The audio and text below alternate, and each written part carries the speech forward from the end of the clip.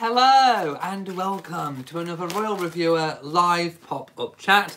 Today is the 2nd of April 2020. Hello, how are all of you doing? As always, this is a live chat, so in a moment I will go and find the live chat room and see who's dropping in. But we have some news to talk about today. We are going to be talking about Queen Elizabeth, who has fought the council. She's had a battle with the council um, of her, her local Balmoral council, um, and she has won. She has won the application to build to go hydroelectric. So we'll be talking about that and what that means for Balmoral. Also, William and Catherine have been doing their bit by the telephone to support frontline services.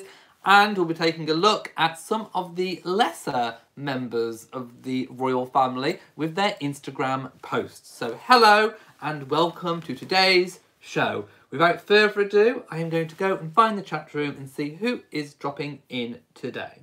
So, um, by the way, we now have over 100 channel members. We have 104 channel members. So hello to all of you guys who whose names are appearing in the live chat in green. I can see Joanne. I can see Reverend Darlene. I can see Betsy and Cassie, uh, Sharona and Tammy. Hello to you all and anyone else who is just dropping in. No tiara. I forgot to wear my tiara today. It's upstairs. So I'm afraid we are going to have to be tiara-less today.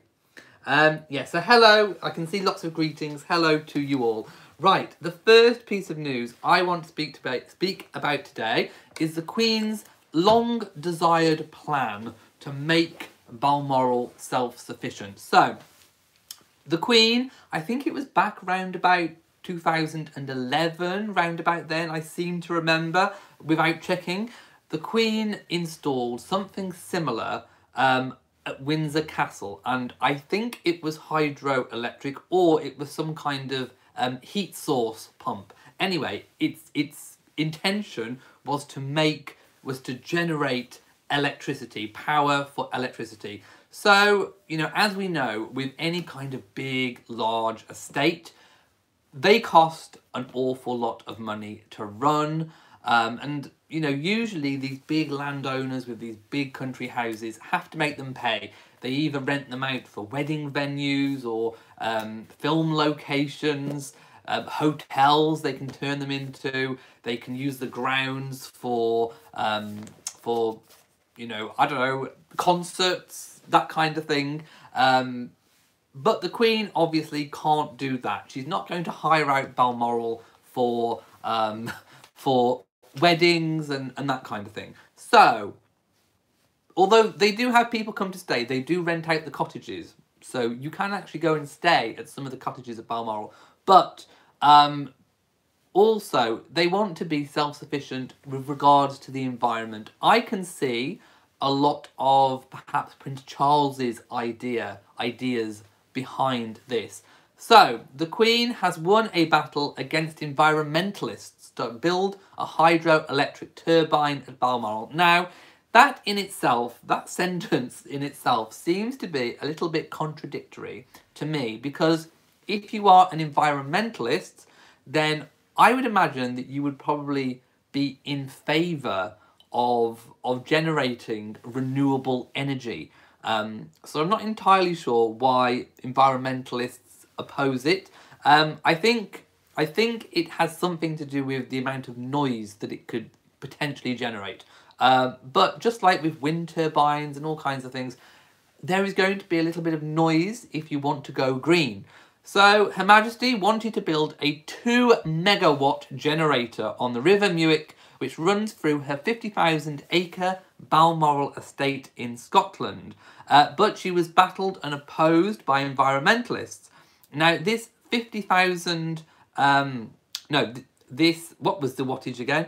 Um, oh, didn't say. Um, but yeah, this hydroelectric pump was set to generate, well, it is going to generate when it's built, £650,000 worth of energy electricity per year. Oh, that's it, 2 megawatt. The 2 megawatts is going to generate £650,000 worth of energy, which, um, which people are estimating would make Balmoral self-sufficient, which I think would be a really, really amazing feat to do. Uh, and perhaps we should always try to harness um, what renewable energies we have going forward. So I kind of, I applaud the Queen and Prince Charles for doing that. Um, any surplus electricity is planned to be sold onto the national grid, uh, which means it goes back into circulation for other people to use, although obviously uh, other people will have to pay for that energy. Uh, the plans were opposed by, by environmentalists who feared it would be too noisy for woodland creatures living nearby, such as badgers, otters, voles, red grouse, black grouse, and snow bunting. However, like I say, we have to make the, you know, the balance between, I suppose, renewable energy use going forwards in the future and such issues and concerns like this. However, um, the local council has ruled in the Queen's favour, so the Queen gets to build her new hydroelectric turbine at Balmoral. I have no idea how long they take um, to build and construct and be installed, but you know, within probably the next couple of years, Balmoral will be self-sufficient thanks to the Queen and my thinking is probably Prince Charles slightly behind this as well. Um, right, let's have a look what people are saying. Um, let's go. Let's go up a little bit. Um, April says, I wonder what taxpayers will say about Queen Elizabeth II Meghan and Harry renovated Frogmore and made it sustainable.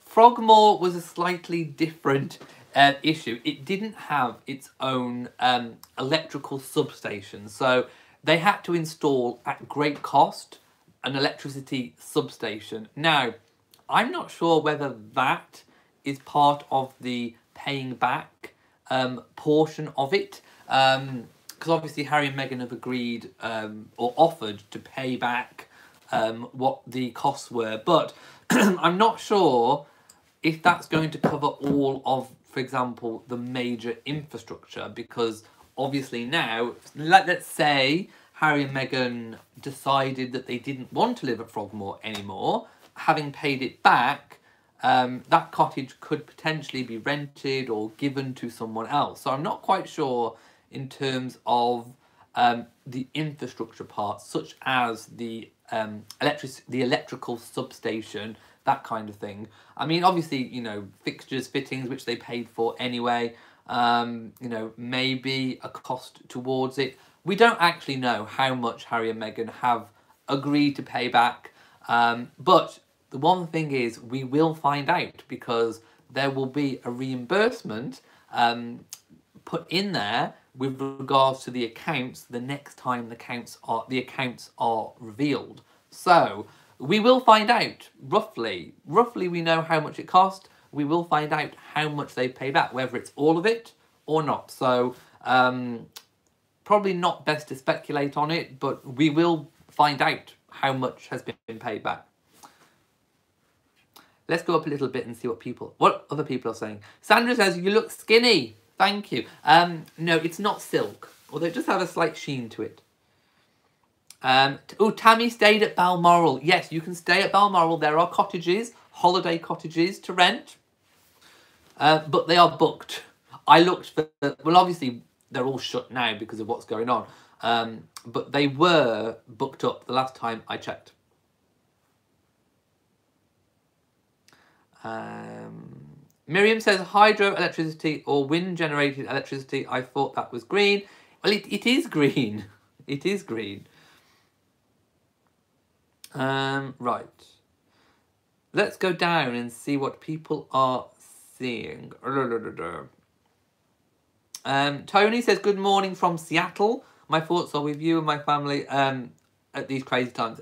My thoughts go to everyone at the, this, and they are crazy times.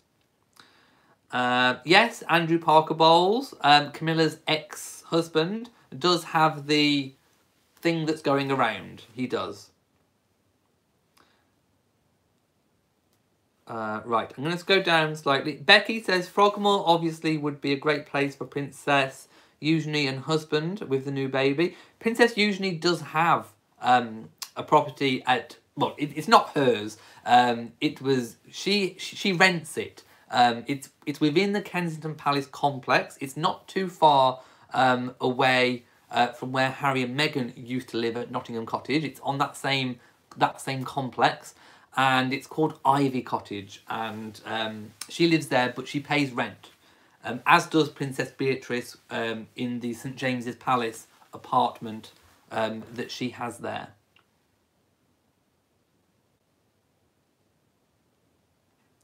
Um, let's read down. Um, right, I'm going to leave that now because basically it is what it is. And then I'm, as soon as we hear any more about um, when that hydroelectric pump is being built, uh, if indeed we do ever find out, I will let you know. But there is one already or something similar, whether it's thermal. It might be geothermal, maybe, but they've got something similar at Windsor Castle as well. Um, right, next piece of news is William and Catherine. They have been, uh, let me just go to where it was where I, I saw it. Um, they have been via telephone communicating with frontline services, including hospitals. So we saw on March the 29th, there was a post about the Duke and Duchess being in regular contact with organisations and patronages to understand the issues they are facing during our difficult time. That has continued. So, how we knew about this, they haven't posted about these telephone calls on um, these new, these latest telephone calls on their um, Kens Kensington Royal Instagram or Kensington Palace um, Twitter accounts. So that, that they haven't posted about these, but we, we know about them because all official engagements are recorded in the court circular. So the court circular um, clearly stated that Prince William and Catherine had been um, making telephone conversations to hospitals, showing their support, how they can, whilst being in isolation. Uh, the two NHS hospitals that have been contacted are um, the University Hospital Monklands in Scotland and the Queen's Hospital Burton in the Midlands. And that happened on Wednesday afternoon. Um, like I say, the Royals have been doing what they can, however they can, video link, um, telephone calls, um, and yeah, I mean, I'm sure any kind of contact will make the National Health Service staff feel like they are being um, valued, thought about, um, and and noticed in this in this very very difficult time. Uh, those calls, of course, will have been made from their Anmer Anmer home in Norfolk. I can't get my words out today. Uh, but yes, the court circular listed these engagements. Um, and of course, this comes after Prince Charles delivered his message from Birkhall in Scotland, of course, where he spoke about everything that's going on in the world right now. Um, and I think any kind of help, wherever, wherever it can come from, and in however, whatever form it can come in, is always going to be appreciated by our frontline services. And I'm really, really glad um, that William and Catherine have been able to do that. Um, Tim says, I was sad to see that Trooping the Colour has been cancelled. They, I think they're looking at doing something, but it won't be the traditional Trooping the Colour that we know. They did say they are looking for alternatives. What to mark the, occasion, I don't know what that will be, but in its traditional form, yes, it's it will not be going ahead. Um, right, let's just go up and see what people are saying. Um, Reverend Darlene says Harry and Meghan are the only ones that receive a wedding present of Frogmore but have to pay rent.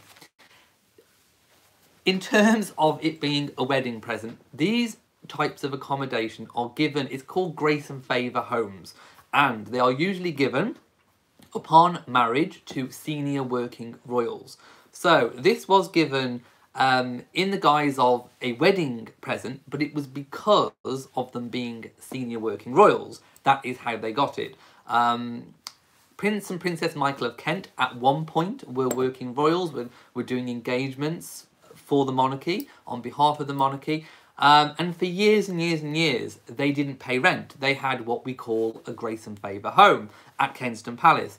Then, ooh, I don't know, it was about 10 years ago, um, it was it was declared that they would start paying rent because they were no longer performing any such royal duties. So um, you are entitled to a grace and favour home if you perform duties on behalf of the Queen. Beatrice, usually have to pay rent. Um, Prince and Princess Michael of Kent that used to have a grace and favour home don't anymore. Harry and Meghan's Frogmore Cottage was given for their wedding um, as somewhere to live, but it was because on the basis of them being senior royals, which of course, when they stepped back as being senior royals, that came into question and they offered to pay rent on it and pay back the money as well. Um, and like I said earlier, we don't know how much um, money they'll be paying back, but, or even if they have at the moment actually paid it back, but that will be revealed. So we will have to wait and see how much has been paid back once the accounts are published for for um, for the last financial year. Although if they if they make the contributions into the new financial year, it might not be until next year when the accounts, the next lot of accounts, um, are, are published before we actually find out the true cost. But yes, it's classed as a grace and favour homes, and they go to um, senior working royals. And of course, at the moment, Harry and Meghan are not senior working royals. Um, you could say Royal Lodge, where Andrew and Sarah, the York home, that is also a grace and favour home. Now, Prince Andrew is a different case again because he has been forced to step back. He hasn't voluntarily stepped back. Uh, but if things continue the way that they have, um, and if the resolution to the Prince Andrew situation is disfavourable to him and he he permanently has to step back from royal duties or is required to step back from royal duties, there would also be a case for him to um, start paying rent on Royal Lodge Windsor as well. Um, and that is something uh, that I would support if indeed he he could no longer return uh, to royal duties, having there having been some kind of resolution which would force him not to. So there is that issue as well. And in 2020, we have a lot going on, but I do definitely think we will probably see some kind of conclusion to the Prince Andrew situation, whichever way it be. So, um, so yeah, we again, that is something that we need to wait and see. Um, Christine says, do I think when Charles becomes king, he will address the nation more often than the Queen? Um, that's a tricky one because each monarch is different and how each monarch decides to communicate with the nation has been different. We have seen progressions. Um, now with obviously uh, our Queen Elizabeth II at the moment, she has kind of, you know, stayed with stayed with the times. She does her, her yearly Christmas address. Whenever anything major happens where she has been required to, to make a, a public address, she has like for example um, the death of Diana, the death of her death of her own mother, which was the last time that she officially addressed the addressed the nation outside of the traditional Christmas broadcast. Um, whether Charles will do it, I do, personally I don't think he will. I think he will keep it pretty much to the Christmas message, and then if anything major happens, um, he will probably address the nation um, about his own mother's death when that happens. Um, do I know where Princess Beatrice will live after her marriage? No, uh, there have been no announcements made about that. Um, however, there is still the possibility of apartment one. If you remember, um, apartment one is the the quite big, substantial apartment right next door to where William and Catherine live. Now, that um, yes, it's it's the Kents that live there. Now they did actually. It transpired that they did. No, is it the Gloucesters? I think it's it's the Gloucesters. The Gloucesters, I think, did actually offer to vacate that property for Meghan and Harry at the time when they were looking for a house. Meghan and Harry didn't want to didn't want to live there. They chose Frogmore Cottage instead. Um, so apartment one was actually probably going to be a much cheaper option than Frogmore Cottage. Frogmore Cottage took a lot of money, as we found out, to to turn back these kind of this one property that that once was one property that was divided into five separate units to put it back together. So Harry and Meghan could have had a much cheaper option of going into apartment one. They didn't choose to take that. They chose Frogmore Cottage. Um, so there is also the option that maybe the Gloucesters could volunteer that apartment for Princess Beatrice. Maybe. So um, so no, I think Beatrice will carry on with her her apartments at St James's Palace for now.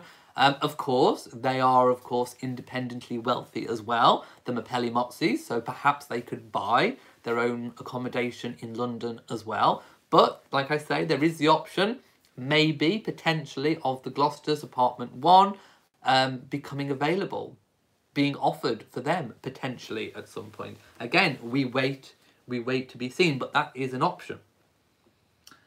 Uh, Princess Beatrice's wedding is cancelled. Um, poor Beatrice.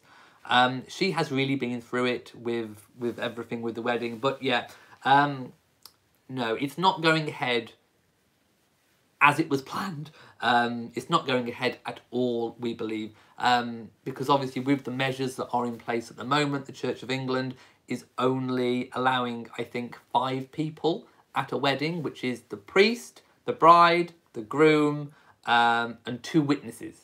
So, only five people at your wedding? I mean, no, no. That that that is there's re, there's reduced, and then there's like five people. Um, no, I would most definitely cancel, and I and she has. Let's go up and see what people are saying. Uh, Maureen, have they repaid Frogmore repairs yet? We don't know. Um, they they offered to do so, uh, but we won't know until the accounts are revealed. And I'm sure the media will be all over it, picking over the accounts, finding um, how much they have paid back. But we got to wait for that.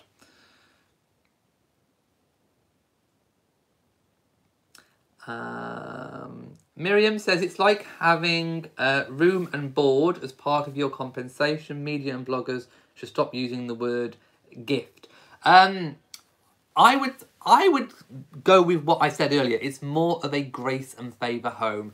It was given because of their position as senior royals, um, and it was given on the occasion of their wedding. Um, the Queen, the um, the royal estates, the crown estates still own it. You you can't give it. Um, it was it was given for their use as a wedding gift because of the position they were as senior royals as a grace and favour home. Um, so if you catch my drift, when they have stepped back from that, that's when all of this came into question and they made their offer um, to make repayments on it. But we don't know in terms of like exactly what. I mean, you know, for example, I made um, a case about this about the um, electrical substation you know, those properties would always have needed having at some point, if not when it was done, but at some point in the future, they would have needed to have had um, that done as part of the work. Um, you know, perhaps there will be some exceptions, some some some costs taken out, maybe that they won't have to pay for. Uh, right, I'm going to scroll down uh, Stephanie D. Kelly says it would be great if the royal grandchildren could become working royals whilst their spouses could maintain their independence. Um, that could most certainly happen. It's happened in the case of Princess Anne. Um, you know, Princess Anne is a full-time working royal. Sir Timothy Laurence has, you know, his own independent earnings, um, but not high profile. They aren't high profile earnings. Um, Stephanie says Princess Beatrice deserves a gorgeous wedding after. Oh, she does. She, she most certainly does. Um, Prince Charles is out of quarantine, but because of his age, they are required to. The, well, not required. The government advises that people over the age of 70 do stay in the house as much as possible because they're classed as being vulnerable people. Um, yeah, there's a difference between a smaller wedding and only having two witnesses.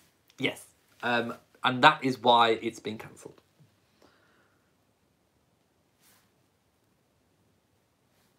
Um, right, I'm going to move on, I think, to um, the Instagram post, which I was speaking about. So, let me just kind of find them, because I have about a million different windows open today. Um, Sarah Ferguson has been posting on Instagram, um, and she posted, thank you so much to a particular company for your very generous donation to NHS Glandin. Always a lady of her heart. So, um, she's tweeted because um, a company has donated lots of antibacterial hand wash. Uh, so if you go to Sarah's account, you'll be able to see those. I'm not going to share the links because they are just little tiny posts. There isn't anything major, but there are um, lots and lots and lots of hand cream and hand gels and all that kind of thing that has been donated. Also, um, what I think was actually quite funny. Now, actually, I will share the link to this because it is quite funny. Uh, Mike Tindall always likes a bit of a laugh, doesn't he? So as we know, um, parents across the land are having to look after their children at home and educate them whilst all of this is going on. And Mike Tindall shared this quite, you know, humorous post saying, uh, first homeschooling week done, but let's try and keep it lean. 89 calories, stay safe and have a great weekend at home, please and he shares a picture of the cider that he, no lager that he's drinking and it's called skinny. So there we go. Mike tindall trying to be skinny and maybe possibly pr promoting a product as well. I don't know. But i just thought that little bit of, of humor um, was quite funny. Um, right. Oh do you know what? I haven't got my chat set on uh, live chat today. Oh and who else needs a haircut who else can't get their hair done and is in desperate need of a haircut? Do you know what? I'm going to be like a caveman by the time everything's back to normal. I really do need a haircut, my goodness. Uh, yeah, Royal Ascot at the moment is not going ahead. The Queen will not be happy. Um, Southern Bell says, I saw that with his beer. yes. And Mike Tindall likes likes to have a little bit of a drinkies. Um, H.M. the King says, as long as they don't make Her Majesty go up the turbine to fix it. I wouldn't put it past her. Oh, definitely not. Can you imagine? Well, at least Angela Kelly will have weighted down her hem, uh, her hemline, just in case a big gust of wind should come and, heaven forbid, give the Queen a Marilyn moment. Can you imagine?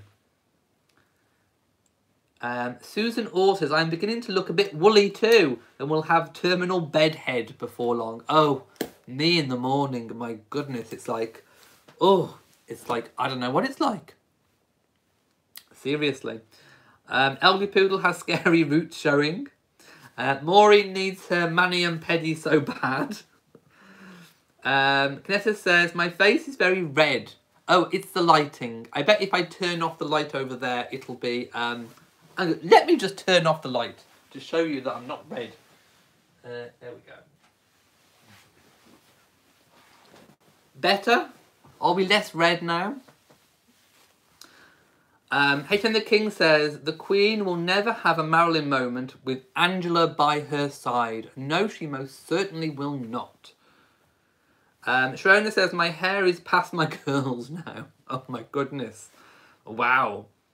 Yeah, no Wimbledon either. So Catherine, obviously a big fan of Wimbledon, won't be there as well. Um, oh, Stephanie Ador is wearing a hair turban. Wow. Do you know what? Maybe I should start wearing those. Um, Leslie says, we will all celebrate our beautiful natural selves. Um, as long as we're controlling hair in other areas. You know what I'm saying. Because we do not want the shrubbery to overgrow. Do we know? No, we do not. Mm.